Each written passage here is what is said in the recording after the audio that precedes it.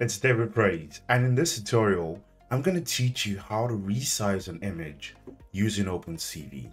So if you actually think about, you know, resize and where exactly can we see this process being used in real life, you can think of it like when you're scrolling through social media. I have like my own cell phone over here. And once I take a, like a high quality photo with it, and then I upload it towards Instagram, what happened is that Instagram, under the hood, it does the whole resizing process for us. So in order for the image that we've uploaded to fit within their predefined window on the application, and there's some things that needs to be taken into consideration, such as the aspect ratio, you know, what interpolation method to use. And also these are like problems that are commonly faced within OpenCV or when you're performing resizing using OpenCV. So most of the time, some people, once they get an image and they want to resize it, they end up not taking into account the aspect ratio. So once you resize the image without, you know, calculating the aspect ratio, all you get is some kind of skewed or distorted image. And we're going to also learn how to solve that problem in this tutorial. And the second issue is what interpolation methods you use. So the thing, you know, it's much easier to go from a larger image into a smaller image because we're already using known pixel values in order to compute or estimate the new pixel value on a smaller image.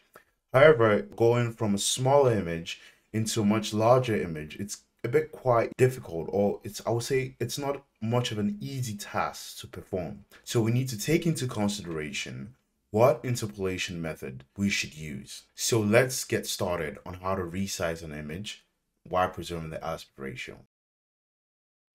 So let's get started by first creating a new Python script called opencv resize.py. So first we're going to import our boilerplate, so argparser for command line arguments and cv2 for opencv binding. And for argument parsing, we have a single switch, which is image, which receives the input image via our command line. So over here, we just loaded our image and displayed the screen. So let's execute that. Okay. So we can also check the size of our image. So just print that as an info. Image size. So we have image.shape. Just run it again. So our image is 667 height and 1200 pixels width. So let's say if we want to resize our image to become 667 pixels high and 600 pixels width while preserving the aspect ratio, what we should do, we just need to define resize image is equal to cv2 dot resize as an input. We have the image. The dimension should be what? It should be our newly calculated width and height while preserving the aspect ratio. So in order to do that, we need to calculate the ratio. So, so we say we wanted the width to be 600 pixels. And then to get the ratio between our new height and old height, we just need to call image.shape and pattern one. So to calculate the new dimension, it's going to be equals to what? The height, which is basically what? Image dot shape of zero multiplied by the ratio. And what is the width? The width will be 600 pixels. I'm just gonna wrap this over here, typecast this into an int or an integer, and then pass it in here as a dimension. And then finally, what interpolation method to use. So I'm going to use the interlinear. So now we're just going to visualize the cell screen and show what? Um, resize the width and resize image, then just add the wait. So let's visualize this. So we can see it's like this. So it's not supposed to be in this format because once as the dimension OpenCV expects it to be in the form of the width then the height. So not in the reverse order in which OpenCV returns our image. So we just need to make that minor modification here. So 600 pixels width before the height. So if we run that again, we can see that our image has been resized to 600 pixels width while preserving its aspect ratio, which is the height. So I resized the image to 600 pixels width as well as, you know, preserving the aspect ratio of the image. So what if we want to, instead of let's say resizing the width, what if we want to resize the height? How are we going to do this? So what we need to do is like recalculate the ratio again. So this time, let's say 400 pixels. This time, let's say 400 pixels. So we're going to divide our new height by the old height, which is image dot shape of zero. And then to calculate the dimension, so remember that we first need to specify the width or the height. So the width will be what?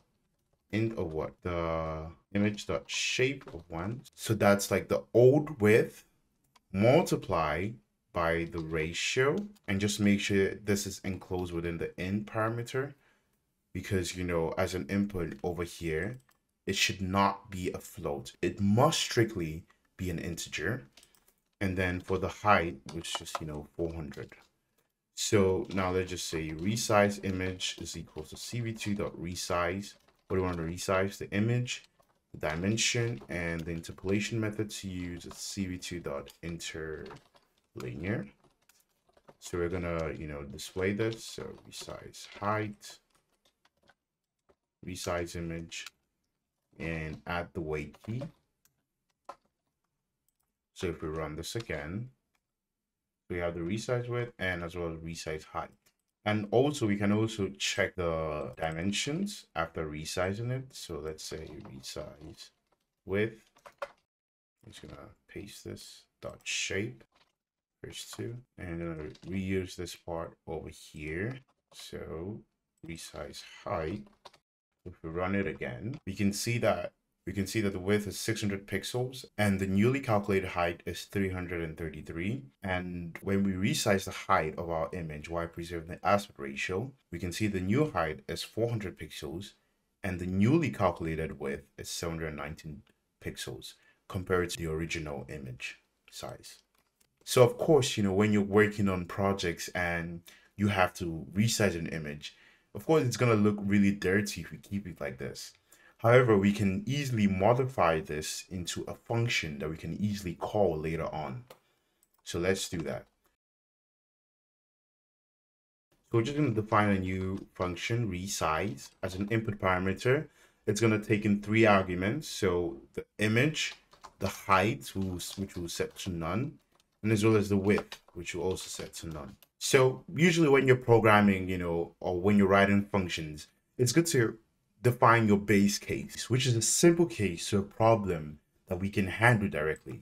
So we're just going to check if the height is none and the width is none, what are we going to do? We're just going to return the image because, you know, there's we literally we are literally not resizing any image over here. However, if this condition is not true, what we are going to do is to get the width and the height of the image so we can do that by image.shape, get the first two values using the indexing, and then get the dimension of our image, so dimension, and set it to none as default.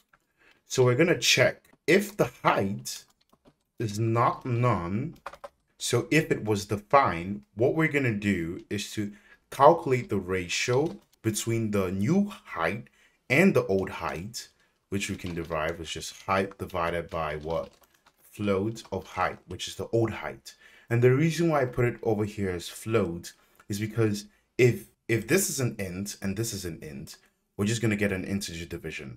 However, I don't want to perform an integer division. I want to be able to get the results, the ratio in form of a decimal. So now to calculate the new dimension of our image, we need to multiply what? The ratio multiply width and then our height, which is going to be as an input from whatever it's going to be passed over here when this function is called. Else, if this condition doesn't hold, what we're going to do is just, you know, calculate the ratio between what? The width, which is our new width, divided by the float all of what? The old width.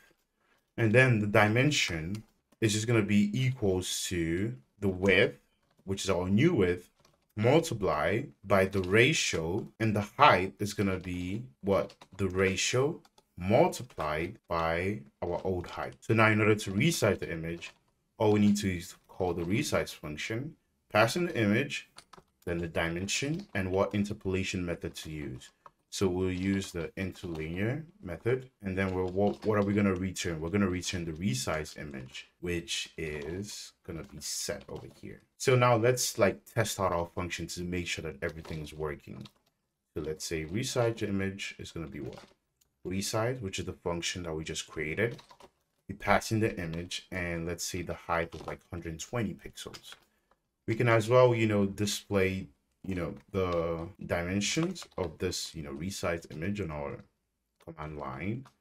So we say resize image dot show the first two values, then visualize this to screen. So we just say resize height 120 pixels and resize image. Then just add the waitKey. So once we run this, we get something like this.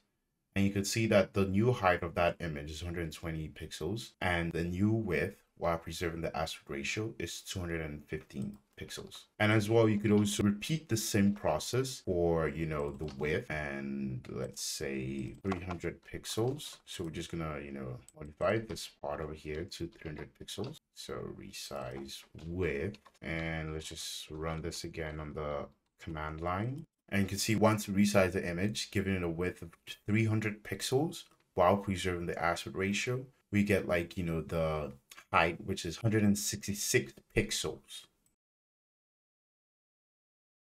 So earlier on, we also made mention of different interpolation techniques to use while resizing our image, either going from a larger image into a smaller image or going from a smaller image into a larger image. And let's explore these techniques that OpenCV does actually provides us with.